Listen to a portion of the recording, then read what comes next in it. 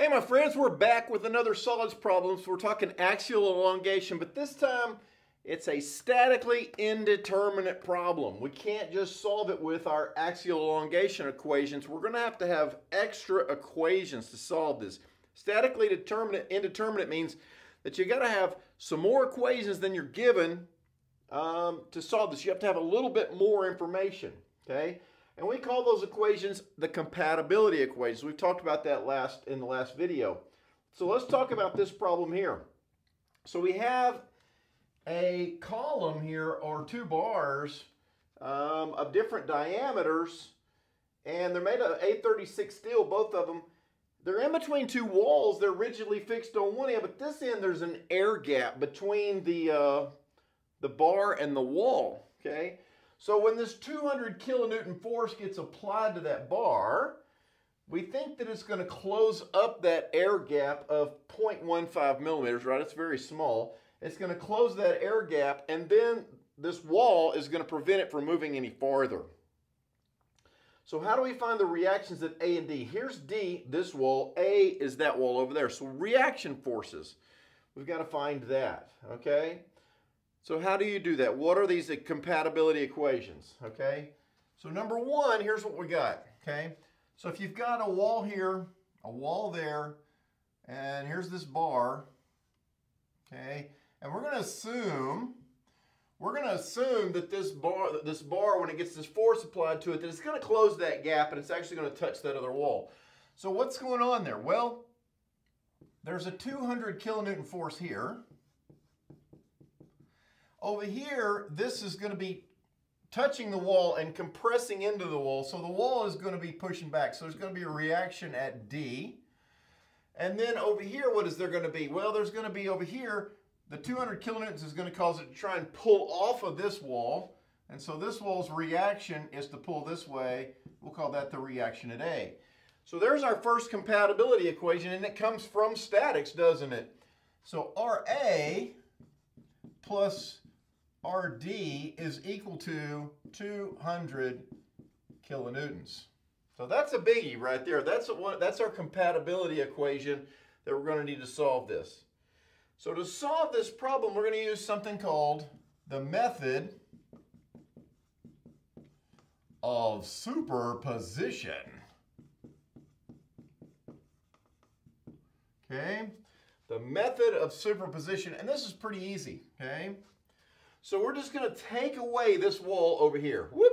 Just pretend it's not there. And then we're going to let this guy expand. We're going to let it grow, let it grow, wherever. Okay, never mind. Uh, we're going to let it grow without that wall there. And then we're going to take and put the wall back, and it's going to compress it back to this amount here, okay? So step one.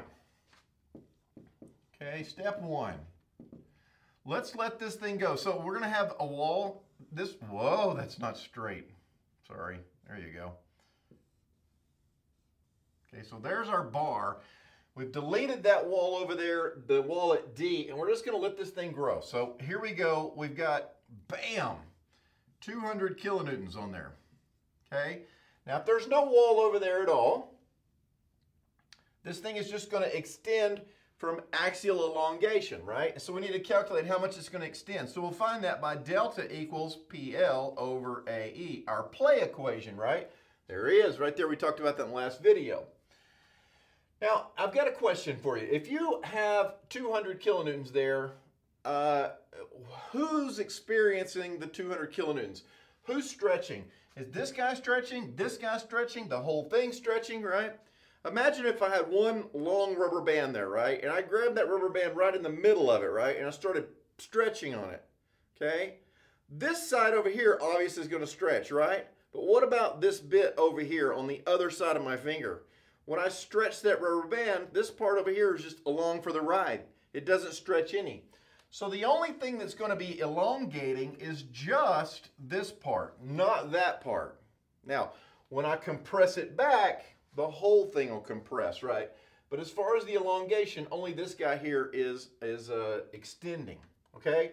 So let's find out how much this bar uh, grows in length by using this equation. And we got a lot of uh, things in our equation here, so we got to be careful with our units, okay? So first things first, 200 kilonewtons is our force P, okay? So I'm going to put this, I'm going to put 200,000 newtons, okay? There's 200 kilonewtons. I got three extras on there for my kilo, right? And then the length, the length of the part that's expanding is just this bit here. The length is 600 millimeters. Okay, divided by A, what is A of that section there? Well, it's 50 millimeters diameter, so that's pi r squared, so pi times 25 squared, and that's going to be millimeters squared, isn't it? And then E, well, E for A36 steel. That's a look them up. We're going to have to look that one up in our table. All right, so I'm going to the table in the back of my book, and of course I want the metric table. Where is the metric? That's down here, isn't it? And for A36 steel, um, E is unknown. There it is. Uh, modular elasticity, 200 gigapascals. Okay. 200 gigapascals. Okay, so E equals 200 GPa.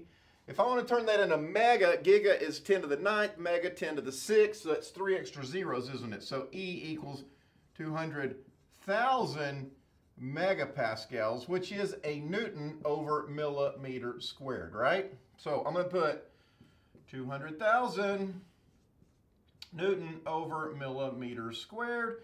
Millimeter squared goes away, Newton and Newton go away, and that's going to leave me with a delta in millimeters. That's what I wanted. All right, let's put it in our calculator and see what do we get. All right, here we go. Come on, calculator, wake up.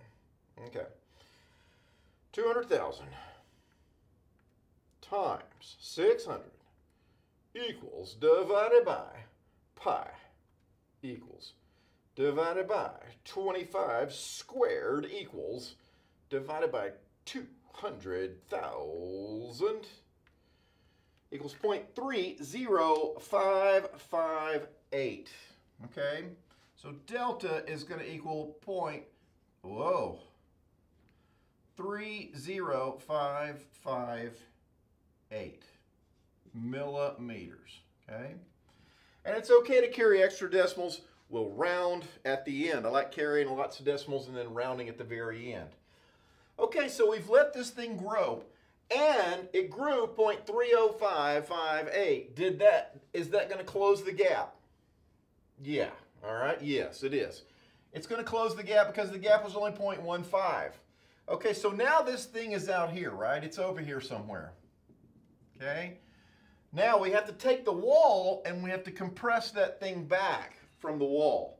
So how, uh, how do we do that? Well, how much is it going to have to compress it back?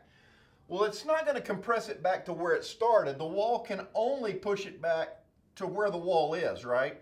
So it, we're going to take that number and we're going to subtract that number from it. So minus 0.15 millimeters is 0.1558, right?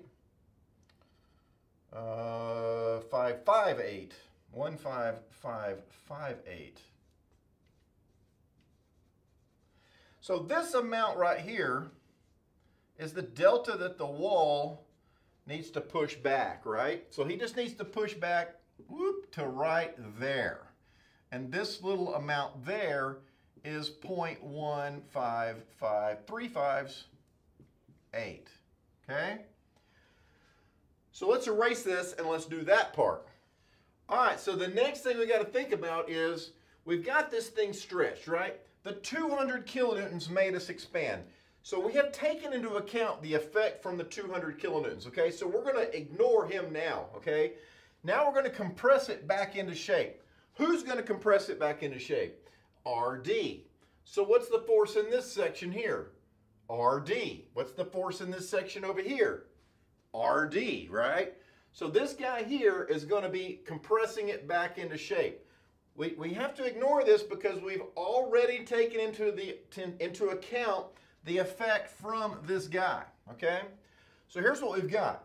Delta is equal to 0.15558, which that's how much we have to push it back. All right, who's going to do that?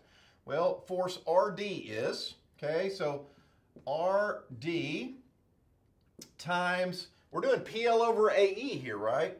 So I'm going to do PL over AE for section section 1 and then section 2, right? So here's for section 1 and then plus PL over AE for section 2, okay? So for this one, the length is 600 millimeters, okay? Divided by A for this guy is pi times 12.5 squared times uh, what was it, 200, 200 uh, gigapascals, which was 200,000 megapascals, okay? Plus, here comes the compression of this section, which is the same thing, force RD times the length, 600 millimeters again, divided by the area, pi r squared, it's 25 because this is 50, um, times 200,000. Okay? So let's put this in our calculator and we just got to solve for RD. Let's see what we get. Okay. So 600 divided by pi equals divided by 12.5 squared equals divided by 200,000 equals, woo, little bitty, right?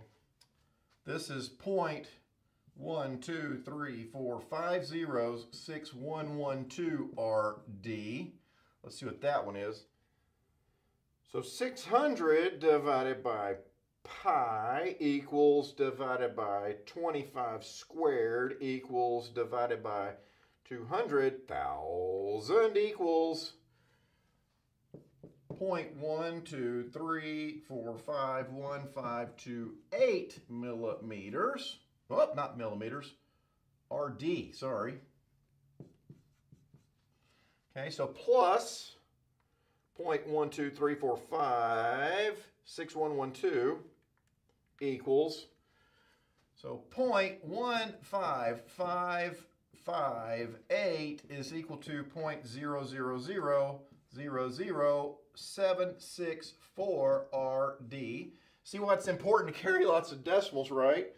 So 0.15558 divided by answer equals 20. So RD, 2364.17, and that's newtons, or, or, why is it newtons, right? Because this was in megapascals, which is newtons over millimeter squared, so that'll make RD newtons, okay? Or 20.36 kilonewtons, okay? So if RD is 20.36 kilonewtons, then RA must be equal to this equation here, right? 200 minus 20.36, which makes RA equal to 179.64 kilonewtons. Okay? So there's RA, and there is RD. So probably the most common mistake I see making is what is the force in this section here? And they would cover this up and they would say, oh, it's RD minus 200. Well, it's not RD minus 200 because we've already taken to, into account the amount of stretching that the 200 is doing in that first step, right?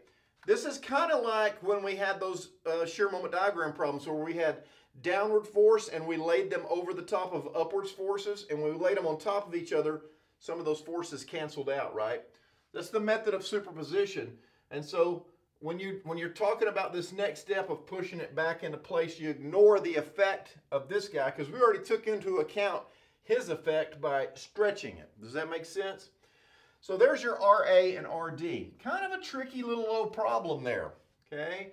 These are called statically indeterminate. I hope this helps and answers some questions. I'll see you on the next video.